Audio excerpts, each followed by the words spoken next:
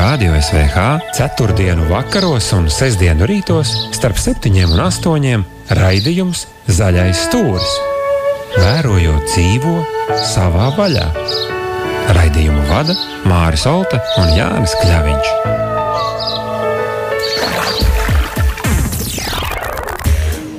Sveicināti, draugi! Sveicināti, draugi, zaļajā stūrī!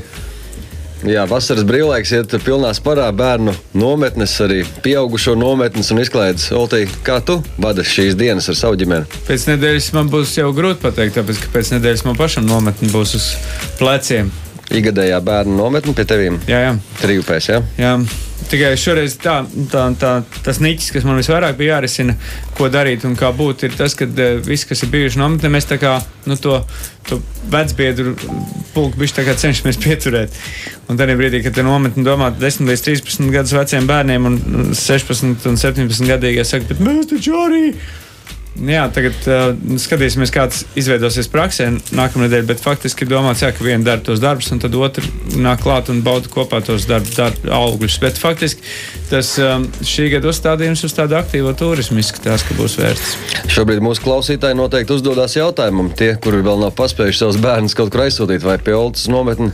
Nevar aizsūtīt. Ne, nevar vairāk, es domāju, ne. Nu, varbūt, varbūt uh, jāpasako Facebookā uh, profilam, varbūt pēdējās nedēļas laikā, ja tur atkritīs kāds Tas 35 bērni ir tas, ko kvalitāte var uzņemt. Nu, vairāk, es saprotu, būtu, būtu nevajag to darīt vienkārši. Un līdz ar to, varbūt, ja nu būs kaut kāds pēdējā brīža piedāvājums, tad varbūt tiešām šī nedēļā, tagad, kad ies uz beigām, varbūt uzmest acis, kas ir, kas nav. Tā kas izlaists. Facebook profilā, jā, jā, jā. pasakot. Es domāju, ka jā, ja, ja man prasi, kur var izlikt kaut kādas atlikušās bumbas, kā mēs to varam saukt, tad tas varētu būt tas. Un ko tu, Jānīt? Nu, mums medniekiem, tie, kas vairāk medī ar loku un bultām, ko šobrīd ko šobrīd Latvijā pagaidām nedrīkst darīt, ir laba ziņa. Jo uh, Somijas parlaments te pieņēma um, likumu, ka Somijā tagad ir atļauts medīt arī visus lielos pārnaģus. Līdz šim drīkstēja medīt um, mazos dzīvniekus līdz pat stirnai. Tas šobrīd nāk klāts stalbriedis, dambriedis. Uh, kas viņam tur sīka briedis, vēl Alns ir arī. baltas briedis, jā, tikai izņemot alnis. A, izņemot alnis. Izņemot alnis jā. Tātad tāda veida attīstība uh, notiek loku medībās. Jā. Kā tu, varbūt ir vērts tagad bija pakratīt mikrofonus Latvijas lēmējiem. Tur nekas nav mainījies, cik es saprotu. Aizliedz jūs toreiz pilnīgi paniski un viss. Ja? Jā, pareizi sakot, neatļāva, jo vēsturiski medību likumā stāv iekšā ierakstīts, ka nu, medības loku ir aizliegts rīks vai paņēmiens. Mm. tā kā jāgaida ir nākamās iespējas, un gan jau arī Latvijā pienāks tā diena, kad medīsim loku un bultām. Jā, man makšķerēšanā tagad ūdeņi uzsilst, un es ceru, ka baigi interesanti bija. Mēs pirms pāris nedēļām taisījām sižetu par, par asarīšiem un atbraucām uz Rīgu un paskatījāmies, jā, asarīši joprojām daudz ir izpūruši. Nu tā, redzēt, vai tas suķīts ir noēdies vai nē. Un faktiski no visiem šī pavasarī ķertajiem asariem, kaut kā man tie asari vairāk ķerās nekā tās visas pārējās zivs sugas. Eh, Visresnākie bija tie, kuri dzīvoja Alauksta ezerā dzīvēs. Man tur tāda vieta bija, un, un, un tie bija apaļi. Kāla ezerā nav apaļš, eh, pēc tam, pēc tam Alauksnes ezerā nav apaļš, Daugavā tāda paša čiekura kā vispārējie. Es ar valdu attēlu šeit virpināju sarunu par makšķerēšanu. Viņš teica, ka līņa šogad ļoti, ļoti jocīgi uzvedās. Ir tā līnija, jā, tur mēs, mēs eh, iztērējām ar Sandru veselu veselu dienu pamēģinot, pamēģinot kaut ko darīt, un nekas nesanāca. Uh -huh. Sāka līt, uzpūta vējš gatavs. Un man viens līnijas bija galā, bet tas pats bija paņemts tārpu mutē un aizmirsts uz iebarojumās barības. Tā kā, Nu, jāskatās, nu, tik līdz būs rāmja saulaini vakar, tāda, kādas mēs esam pieraduši Latvijā baudīt, viss jau būs kārtībā. Augi pārāk ļauno, ļaunā neņem, es skatos, viss ir izaudzis, tā kā prieks. Vidzeme savukārt nu, ir apeltītāk ar ūdeņiem bijuši šī vasaras sākumā, ja tā to varētu saukt, vai vasaras viducī. Domāju, ka tas vedīs pie labām gan lācenēm, gan zērvenēm, gan, gan, gan arī avenītēm, kas visvairāk būs svarīgi tiem cilvēkiem, kas dodas mežā. Gailēns ir sākušās nu, vasariet savu jonu, bet tikai viņi pa kādiem septiņiem grādiem vēsāk nekā gribētu. Es šogad savukārt pamēģināju uh, jaunu makšķerēšanas veidu priekš sevīm zemūdens medības. Jā. Tas, jā, jā, tas ir medību veids, vai cits nevis makšķerēšanas veids. Sauksim viņu par medību veidu, jā, bet um, kaut kas jauns bija priekš manīm. Un, um, Uh, šodien tāpēc ir aicināts ciemos kā vienu no jautājumiem, ko apspriest arī mm, mūsu šīsdienas viesis Rolands Matisons. Čau, čau! čau.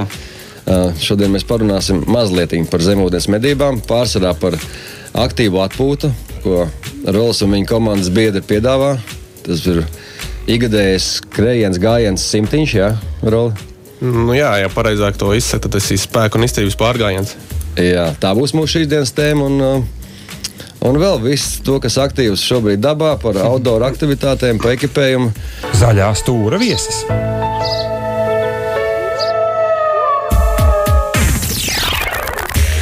Jau zaļā stūrī mēs tagad runāsim par kaut kādu simtiņu aktīvo. Jā, Rolands Matisons, mūsu šīsdienas viesis. Čau, Rola, vēlreiz. Čau! Strēlnieks.CLV. Tā mēs pazīstam. Mēs tikāmies, viņš teica, ka viņš ir rolis ar divu S. Acīm redzot, tā tu esi Facebookā atrodams. Ja? Jā, esmu atrodams gan Facebookā, gan YouTube. Mm -hmm. Rolis. Super. Savukārt, man eh, jums interesi piesaistīja tieši simtiņš pasākums, ko jūs organizējat, kā jūs tagad saprotat, katru gadu, un kurš jau pēc nedēļas eh, pulcēs teju simts cilvēkus. Ja? Varbūt sākam ar šo tēmu pastāstīt, kas ir simtiņš, kas tā pa ideja un nu, kāds izaicinājums tas ir dalībniekiem. Uh, nu, simtiņš notiks jā, šogad 22. un 23. jūlijā. Viņš notiek jau. Šis būs ceturtais gads, kad notiks. Un tas ir tā ir ideja. Ir vienkārši izaicināt cilvēkus, pārbaudīt pašiem sev spēkā un izturībā, cik vai viņš to spēj izdarīt, vai viņš ne, nespēja to izdarīt. Tas ir vairāk izaicinājums pašam sev. Labi, tie, kas neko nav dzirdējuši par simtiņu, vispār, kas par disciplīnu jāskrien, jāiet ar ekipējumu, bez ekipējuma. Tas ir spēku un izturības pārgājiens, kā jau minēju, kas ir jāiet, var skriet, protams, arī pa noteiktu maršrutu, kas ir jāiekļaujas ne ilgāk kā 24 stundās, jānoiet ne mazāk kā 101 km. Uh -huh. Jā, kas traks nav. Droši var pievienoties. Neko darīt. Altī, cik bieži tu noej tālāk? Man ir ko darīt. Altī, cik bieži Nē, tu noej 100 km? Tas ir, nav, nu, tas nav jāiet pa, vienkārši pa ceļiem, tas ir jāiet pa takām, pa apvidu, pa, kal, pa, pa kalnēm. Jā, starts ir uh, liepa pie lielās elītes. Jo varbūt tādu esat dzirdējuši. Jā, protams. Un uh, tiek iets veikt maršruts pa ceļu, pa apvidu, gar kāzu grāvu Tad aiziet līdz uh, liepai. Līdz... Kas gravā pa augšā iet, ja palēj? Tur gar Dāvidā būtu tu pusi. Ja gar leju. Gar leju vajag iet, un tad, tāpatās arī gar līču lanģu gravās jāiet, ir uh, gar liepu ārā. Tad ir pa sliedēm, jāpaiet kaut kāds posms gar sliedēm, jā, un tad uh, finišs ir Siguldā paradīzes kalns. Jums ir kā marķēt trasi kaut kāda vairāk vai mazāk zināms maršruts? Jā, tas maršruts ir nozīmēts gan uh, uz kartes tiks dots fiziski, uz rokas kartes, tāpat arī pieejams uh, internetā mm. Tiešsaistē. 20 litru mugursomā uz priekšu? Nosacījumu nav 20 litru, bet uh, noteikts ir tas, ka jābūt ir, uh, nemainīgam svaram 10% no paša svara. Es nu padās uh, ar prieku sagaidīju mūsu eļļu ciemata kafejnīcā beidzot taisa beef jerky. Um, realizācijas laiks viņam ir divi mēneši, bet viņa iegļos taisa pie mums cilvēki. Bītini, jā, tā ir. Ir iemācījušies vītināt gaļu, kāpēc es par to iedomājos. Es sapratu, ka tas uh, faktiski tā kā piedāvājums tiem cilvēkiem, kas iet aktīvi. Atcerieties, kā mēs toreiz Habāros kā vītinājām to gaļu nelaimīgi, ka mēs cepeškrāsnī, tur prātā juktam tajā cepeškrāsnī. bet tagad Latvijā ir tāds produkts, kurš, manuprāt, tieši tādā izdzīvošanā ir vajadzīgs. Jo, ja tev jāpaņem līdzi kaut kāda noteikta masa, tad kvalitātās lietas būtu labākas nekā. Nu, tas ir atkarīgs no katram jau individuāli, ko viņš jau izvēlās līdzņemt. Un, Mums bija izturēts, bija kaut kādas vietas, ņemam līdzi.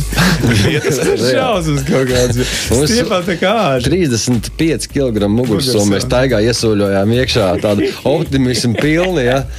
Ar Džeku, kurš visu laiku stāstīja par Lielkrievijas pārākumu par pārējām pasaules daļām. Viņš bija laiva gids bijis, bet, bet es to joprojām atceros kā vienu lielisku pasākumu. Atgriežamies pie tiem taviem 100 km. Rol, tu minēji, ka 10% no svara ir jābūt somai. Jā. Tas ir interesanti. Man liekas, jā.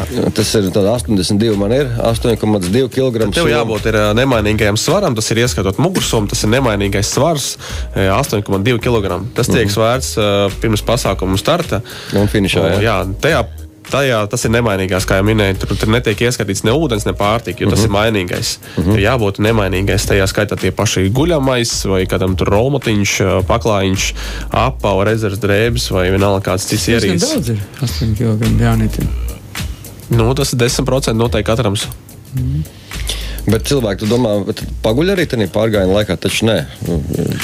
Ir, ir kas paguļ. Jā. Man liekas, ir ka kas paguļ. Jā, normāli. kurī- Jo, ja tu esi rīktīgi nometies, eh, paguļot, jau tomēr cilvēks vairāk vai mazāk nomet eh, pa nulēm atkal savus skaitītājus. Kaut kā pusstundiņa. Ja? U, Es pat domāju, ka es nezinu, protams, kā, kā tu teiksi, kā speciālists, jo es neesmu steigājis satikt, bet divas stundas nogulējot, man liekas, tu viņus arī var pēc tam atgūt tie- tieši caur to, ka tu normāli esi bijis parāvis sev. Divas stundas noguļot, uh, es domāju, ka šeit jau vairs neiekļausies laikā. Aha. Jo diezgan tā pagrūti ir. uh, Personīgi es gāju 2015. gadā. Izgāju, nu, mēs nereiz negulējām. Tu ņēmām dis, pusdistancē, mēs paņēmām stundu pārtraukumu. Mm. Jā, un tad mēs iekļāvāmies laikā, bet arī ik pēc uh, kilometriem ņemot pauzes, jo tomēr pauzes ir vajadzīgs, uh, obligātā zeķa maiņa, ūdens rezerves uzkrājuma papildināšana. Tas pats iekot, iekost kaut ko, lai enerģijai būtu. un Tā, Tāpēc, tā vien bet, iekļāvāties, ja rezervīt. Nu, tā vien iekļāvāmies tajā laikā, tajā gadā. Nu, kurienes tas dīvains formāts? Tieši spēku un izturības. 100 km 24 stundās. Tas tā interesanti. Nu, Kādam ienāca sapnī, vai kāds izlasīja kaut kādu jā, tas neienāca man sapnī, tas jau ienāca uh, pašam uh, organizatoram, priekšniekam, Mārtiņam, Mārtiņam Mužniekam, kad uh, kaut kas ir jāveic tā kā interesantāk, ne jau standarta pārgājienu, bet kaut kas jau tāds interesantāks ar kaut kādiem jau ierobežojumiem. Un tāpēc tas lika izdomāt un realizēt tādu pārgājienu, lai izaicinātu sev, un vai to spēja izdarīt katrs. Un pirmais gads bija kurš? Pirmais gads bija četri gadi atpakaļ, šis ir ceturtais gads. Mhm, interesanti, cik cilvēks apmēram uh, jūs uh, s- savācat šajā pasākumā iepriekš. Uh, Šis nav mazs pasākums, šis ir konkrēti tie, kas to vēlās pārbaudīt. un Tie aptuveni sākot jau bija no pirmajiem gadiem 11 cilvēkiem, tā līdz šogad plānots līdz 50 cilvēkiem. Tad, nu, padās, mēs uzzinājām, Rādījus vai kā zaļajā stūrī 100 km 24 stundās ir diezgan normāls izaicinājums tādiem cilvēkiem, kurš jūtās kā savām Jā, kājām. 22. un 23. jūlijas. Lūdzu, esat laipni, var pieteikties. Jā, ik viens. Jā, jebkurš var pieteikties mūsu mājaslapā, strēlnieks.lv ar diviem e, un tā pašā Facebook lapā arī strēlnieks.lv. Jā, es jau ka drīkst arī jebkurš nepieteikties. Arī. Jo, cik es saprotu, tad labi. Es tā viegli prātīgi sākumā teicu, ka nekas traks, bet laikam jau tomēr bišķi kaut kādai iekārai vajag būt uz to iešanu, uz to trako izdzīvošanu, uz to turismu būšanu. Tā uz no nulles diez vai kāds nospagot. Nu, jā, Kaut gan otrs puses, es zinu, ka tie, kas brauc ar MTB, viņi tīri normāli brauc ar slēpēm un otrādi. Kā tur Jā, ir? protams, kaut kādai fiziskai sagatavotībai jābūt. Ir. Mēs arī katru gadu taisām tas pats arī šajās brīvdienās. Notiks Svētdienā, tas ir ā, 9. jūlijā. Sagatavošanās cilvēku var iepazīties ar, ar to daļu maršrutu, kas notiks piemēram šajās brīvdienās no Liepas līdz Cēsīm. Tie ir aptuveni 40, uh, mazliet pāri kilometri, 45 km vidēji, ka viņš var iepazīt to trasi jau. Protams, ir kaut kādai sagatavotībai jābūt. uh, Nevar tā vienkārši jau kurš cilvēks, pilsētnieks, viņš iedomājas, ka tagad jā, noies to 100 km un aizies. Tas tomēr ir sev jāpārbauda un jātrenējas, jāsagatavojas tam. Mēs biežāk jau droši vien tulzini jautājums. Jā, Jā. tie, kas Nu, ir iesaicē, ķermenis iztur to, ko gars dod virsū? Jā, tas ir viss vis aktuālākais. Jā. kājas apavi vai ne? Jā, tas, ir, tas ir jābūt, kuriem ir tiešām jābūt ir ienēsātiem apaviem un ļoti labām zeķēm jābūt. To es esmu pārbaudījis pats personīgi uz savas ādas. 800 metrus olimpiadē bija viena tāda angliete, ja nemaldos, kur skrēja basām kājām. Basām kājām nesniegt, tagad ir par, parādījušies ekstrēmisti. Nu, noteikti nav, ka jābūt obligāti apaviem. Varbūt kāds jau būs, kas parādīsies kādreiz ar basām kājām. Tas jau viņu pašu jau interesēs un jau vēlmē kaut ko izmēģināt jaunu. Strēlnieks.CLV. Kas jūs esat par džekiem vispār un ko jūs piedāvājat? Mēs esam biedrība, ā, kas nodarbojas ar ā, pārgājieniem. Pasākumiem, jebkāda veida pasākumu, kas sākās ar vecpuļu balīti, arī to tā, tā skaitā vecmēta balīts. Varam organizēt arī jebkādu citu veidu pasākumu, balīts, jebkur privāti. Tas pats arī airsoft spēles organizējam. Nu, bet Vairāk tie, kas ir aktīvā, atpūta Bet dabā. tā ir biedrība, bet nu, kā tu pelni naudu? Biedrība, cik Nē, es mēs, mēs esam bezpējas organizācija, be- biedrība. Ā, jūs ar to- paši arī tā arī pelnāt naudu. Tu arī dzīvojat, ko darat. Mēs nepelnām ar to naudu. Mēs vienkārši tas ir mūsu brīvais laiks, brīvā laika pavadīšana, un mēs tā brīvprātīgi aktīvi to darbojamies. Nu, jā, labi, bet vienā brīdī tu, tu ej kaut kur kaut kādā, ir, nu, ka, pensijas Kaut, kā, nu, kaut kāds darbs, kur tu uzvelc šlips, un tad ej, ja tev tāda nav. Nu, tas ir privātais darbs, kas Tas ir ir ā, privātais darbs. s- Tāpat kā es, principā. Jā, Jā. un brīvā laikā, esmu tas, ko brīvdienās, jā, brīvā laikā, brīvdienās mēs pasākumi, mm. -hmm. pārgājiens, airsots. Tas ir tas, ko mēs Ko tā- ģimenes saka, skatos, tu esi gradzenots cilvēks. Jā, esmu precējies, trīs bērni. Tāda paša traka meitene. Nē, meitene būtu mierīgāka.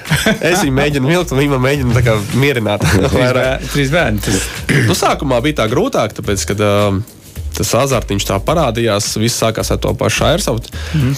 Tad aizgājot tie pārgājieni, uh, un tad, uh, protams, gribās visur parauties, uh, visu, nu, labi, izmēģināt. trīs bērni, tas ir diezgan, es, es man pašiem ir četri, līdz ar to es zinu, par ko runā Jānītam arī.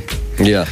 Bet, vēl raugoties uz teviem, uz taviem video, tev arī YouTube daudz tu mm, lietas savus video pa aktīvo iešanu. Ir tāda sajūta, ka tev ir militārā pieredze.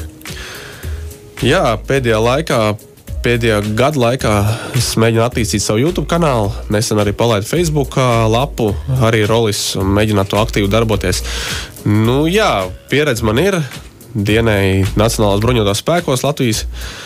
Un tad kaut kāda pieredze man ir, un tad, ā, tas viss. Tās zināšanas, kas no turienes tika liktas, liek arī tajos pārgājienos, airsoftā un visā pārējā. Un, protams, arī attīstos, mēģinu kaut kā tālāk skatīties kaut kādas vēl no citiem video, meklēt informāciju.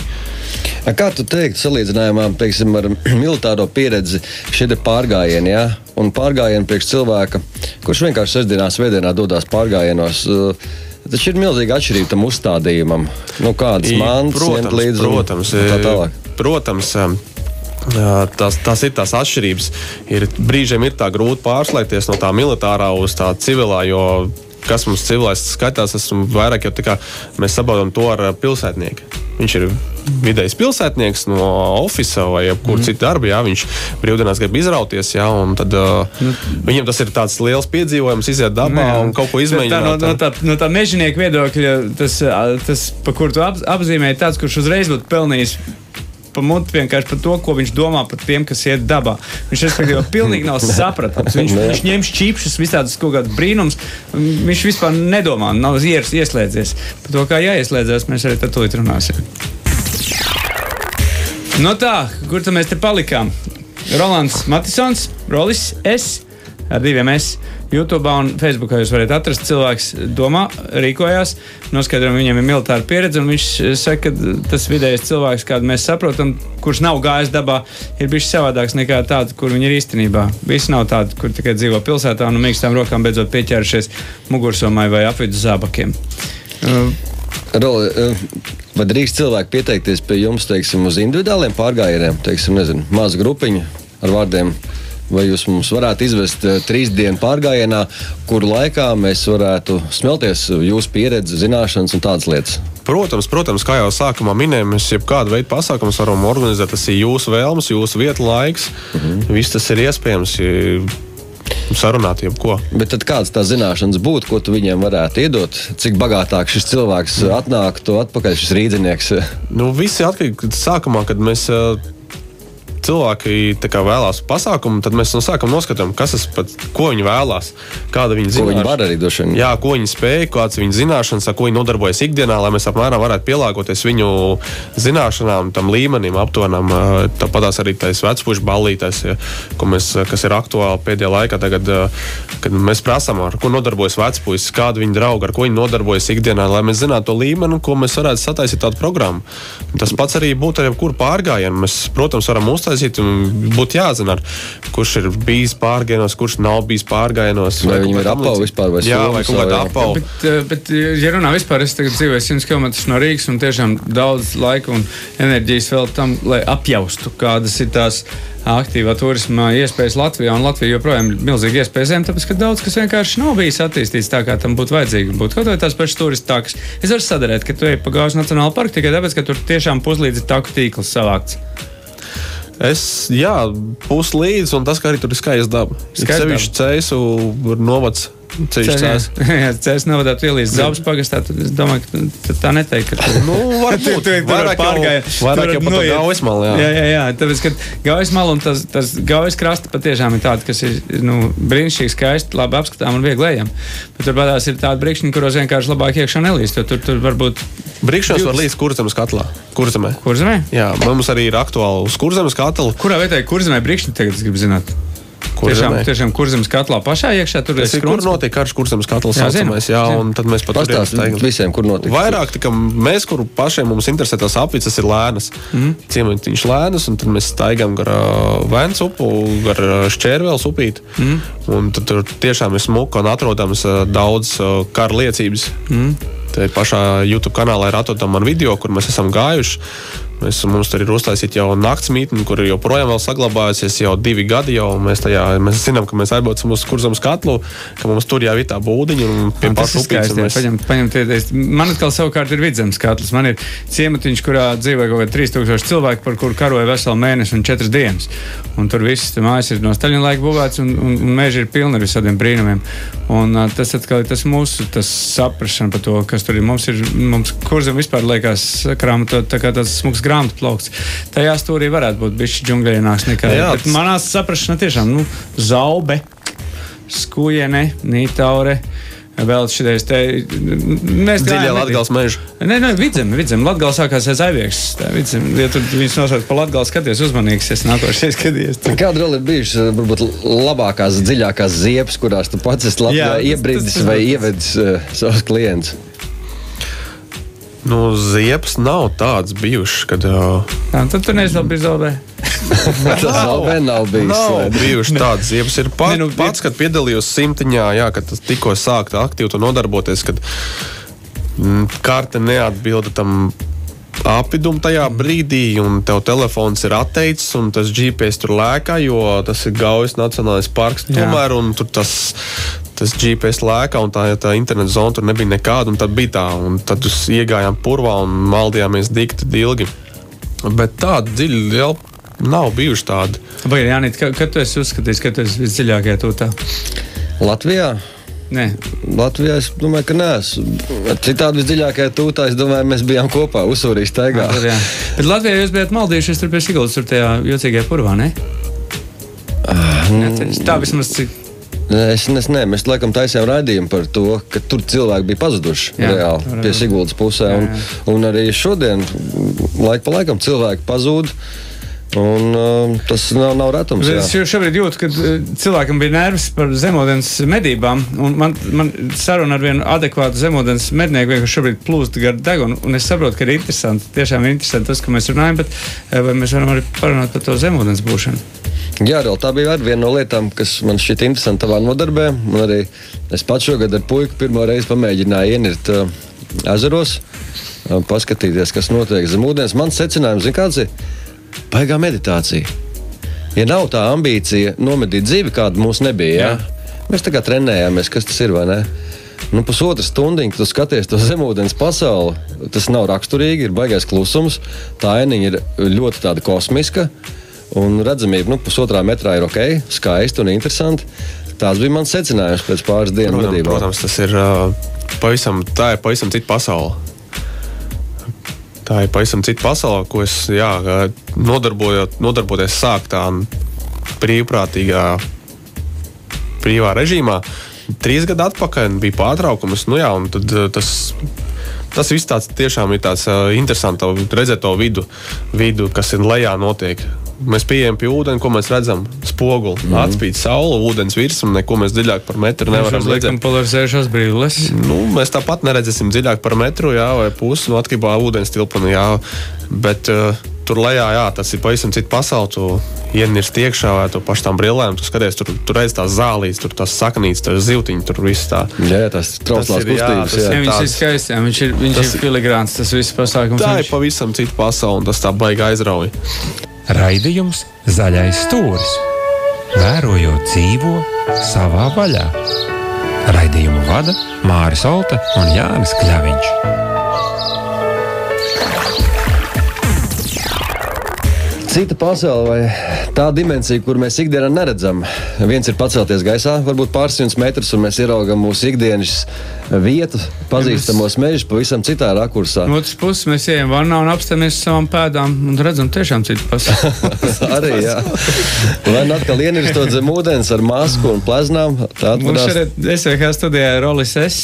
vai Rolis ar diviem S cilvēks, kurš lūko darīt to, ko viņam patīk darīt savā dzīvē. Cik es saprotu, tad, uh, ja tev ir pieredze bijušas iepriekšējās, tad, tad šobrīd esi visai tāds uh, priecīgs un apmierināts par to, ko tu dari un kā tu dari.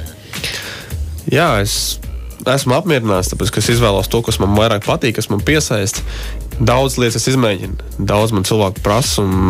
Redzot, man kanāla YouTube, kad es laiku lieku tos video un tos postus Facebook, daudz man prasa, kā tu visu to vispār paspēji. Mm. Ja ir ģimene, darbs un vēl es saku, nu, dzīvojam tomēr vienreiz, un tas jāizmēģina. Un tā arī ir ar manīm, kad es to izmēģinu. Es arī esmu izmēģinājis to zemūdens pasauli. Arī.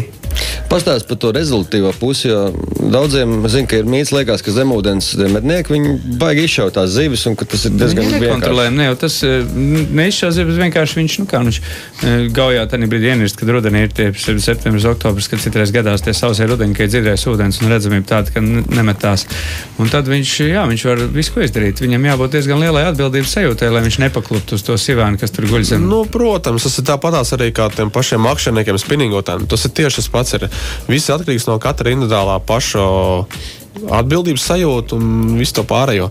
Jo tas pats spinningotājs arī viņš var ņemt un spinningot tās zivs, tas līdzekļus Viņu redz, saprot, viņu redz.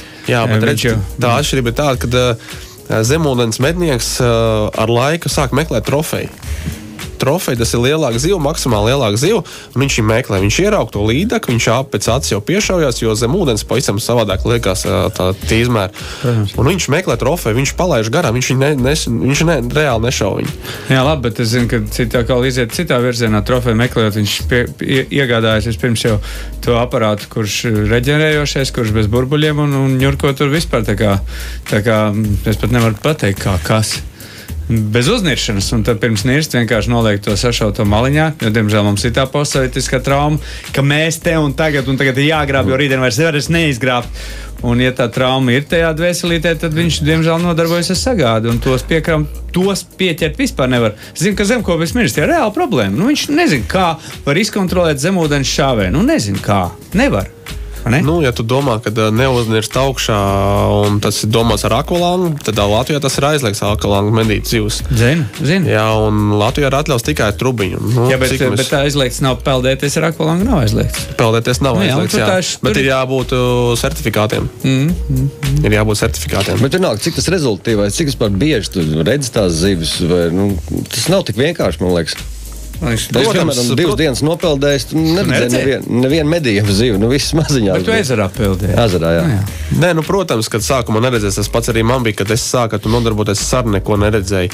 Tāpēc, kad uh, es nemācījos aplūst ar ūdeni, tā ir tā pasaule, kur jāmū, jāsaplūst ar ūdeni. Ir. Un nedrīkst būt ne asas kustības, bet pēc tam ar laiku tikai tās zivs sāc redzēt.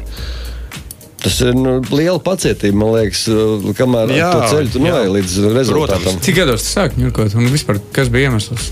Es sāku trīs gadus atpakaļ, tie 28 gados sāku. Mm -hmm. Klausies, tev bārda un ūsas netraucē, tev ūdens neiet maskā, man iet, piemēram. nu, tāpēc, pirms, uh, kad sāku medīt, es nodzenu jā, Tad ir jā, tad daudz pasmējās, jā, kā izskatās jau bez ūsām un bārda.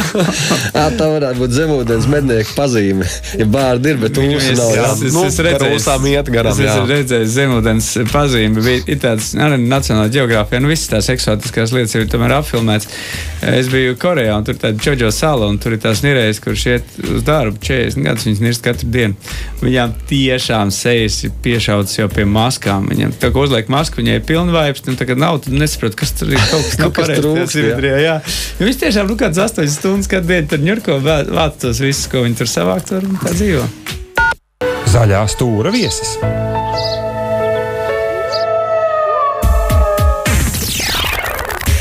Forši, jā. Tad, tad zemūdens medības, nu, es nezinu, man liekas, tā tomēr joprojām nav pārāk masveidīga aizraušanās. uh, Aizraušanās veids, vai ne? Un uh, diez vai arī kādiem būs. Es nezinu, es domāju, ka var būt, bet uh, es, es tieši tā, tāpēc domāju, es labprāt teiktu, ieņurkojiet, pamēģiniet, bet uh, tiešām tu saproti, kāpēc tos zemūdeņniekus tā, nu, viņiem tā kā neraizējās, nepopularizē, tāpēc, ka vienkārši nu, tā, tā, tā, tā, tā neskārtot vietu. Nu, tāpēc, ka ir dzirdēts, ka uh, tie paši sauszemes makšķernieki domā, ka tās zivs tiek izšauts zem, ūdens, zem ūdens. Mm. Nu, tā nav. Tā, tas ir vienkārši mīts un priekšstats. Jo, kā jau minēju, meklēja trofeju. Tāpat arī spinningoties viņš cenšas noķert lielāku lasi. Labi, tas dabūs zūti divi kilo. Es zinu, ka tā ir trofeja. Zūti ir ļoti grūti. Jā. Zūti ļoti grūti, un tur ir attiecīgi atkal ar četru žuburu, ar trīs žuburu, jā, jā galu jāšauj, jā, un tad tas ir grūti. Labi, nu, līdz kas ir trofeja tev? Nu, protams, uz, uz, sākot no pāris kilo, kaut 4-5 uz augšu. Jā. Jā, bet tas ir salīdzināms ar mūsiem. Ašukus tu droši vien tik daudz liels neredz. Asars man ir bijis lielākais nesen sezonas sākumā - 39 cm asars. Tas ir apmēram 800 gramu. Ah, pirms nārsta 39 varēja būt arī uz virs kilo. Bija. Virs kilo. Virs kilo bija, jā. Pastāst par šo ūdeņu kvalitāti, jo arī jāķer laikam brīdis ir, ja, kad vispār tu vari kaut ko redzēt. Jā, labi. Šobrīd var pateikt, Rolex ir bārdēns. Viņš nenāks. Visi pēc manas imīča pareizi. Priekš strēlnieks LV imīču. Mm. Uh, jā, Latvijā tam, tā redzamība arī ir tā, kā ir.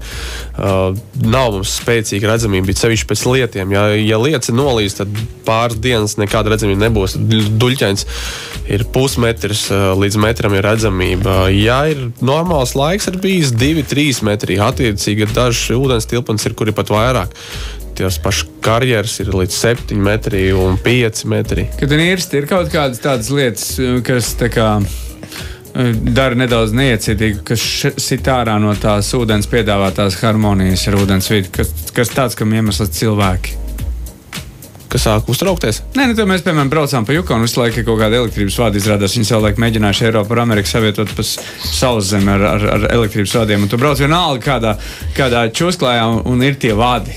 Vai atkal braucot kaut kur citur, tur kaut kāda plasmas pudele pēkšņi peld, un viņš atcīt tev atpakaļ, tas tu neesi. Nu, tā civilizācija kādā veidā atgādina, un tie diezgan kaitinoši tādi atgādinājumi. Tas ir jautājums.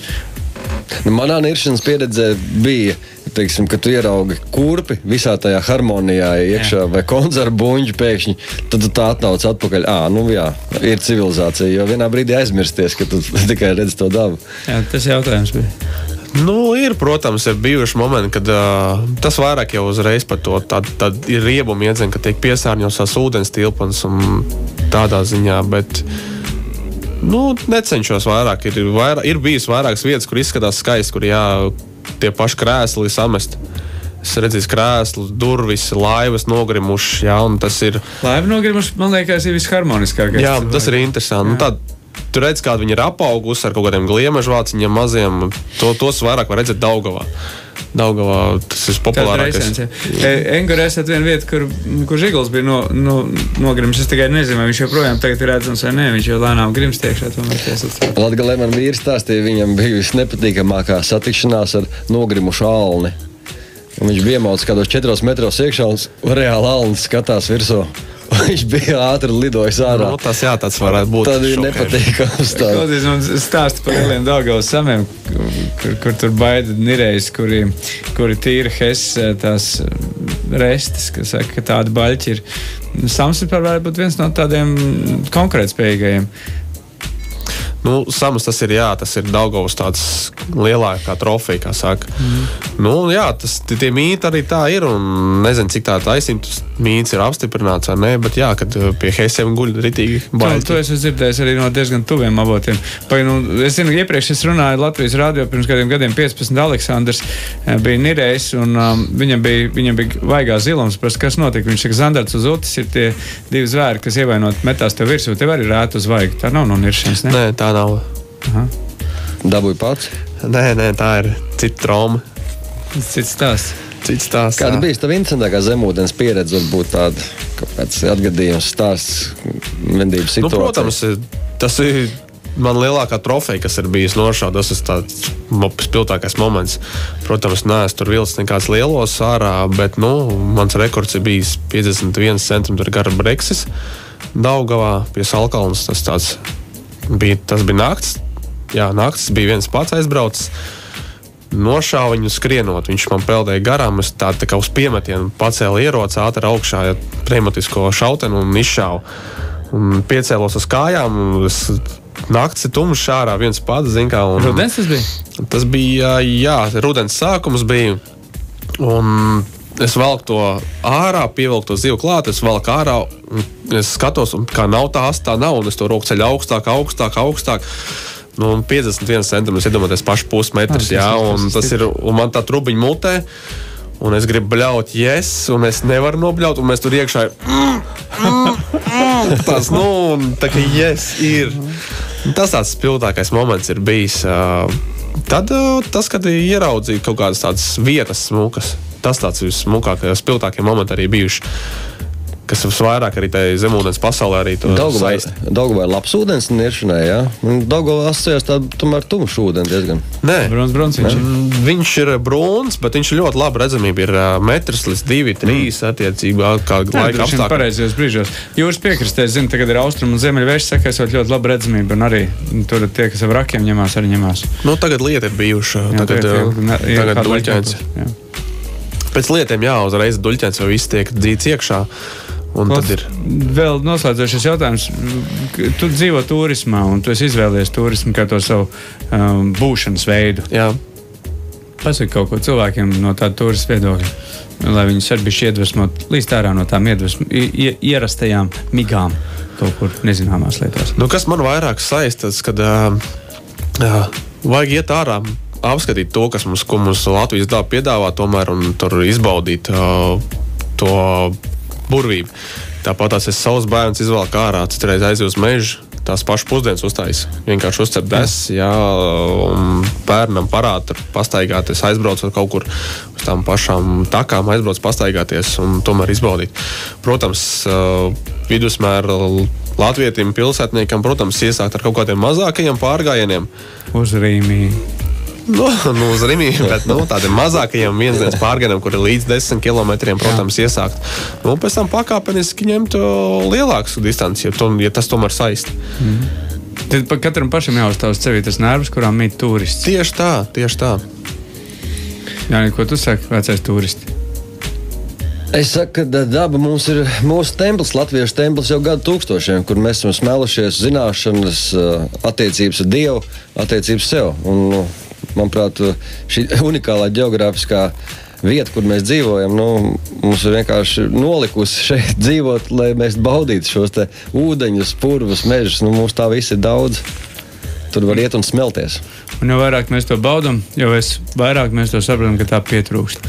Mēs šodien runājām ar cilvēku, kuram YouTube un Facebook jūs varat atrast rolis ar diviem S. Tad jūs redzēsiet, ko dara cilvēks savā brīdī. Jā, un tie, kuri grib izaicināt sevi 100 km pārgājienā, arī strēlnieks.CLV mājaslapā atradīsiet informāciju un pamēģiniet. Ne tikai simtiņā, bet arī jebkurā veidā pārgājienā. Mums Paldies, Rol, ka atnācis, lai izdodas eh, pārgājieni un citi Tu izaicinājumi. šogad organizē, tu neies Paldies! simtiņa? Nu, es pats neiešu. Jā, es šogad arī pats nebūšu pie organizācijas, jo dodos ārpus Latvijas, mm -hmm. izbaudīt citas turistus taks. Bet, nu, jebkurā pasākumā varam tikties. Labi, Droši uzmeklējiet mūsu strēlnieks.CLV un tad jau tiksimies. Atā. Tā.